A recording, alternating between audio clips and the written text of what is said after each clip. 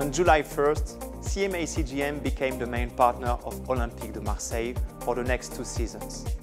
CMA CGM will be featured on the front of the jerseys of all teams of this exceptionally passionate club.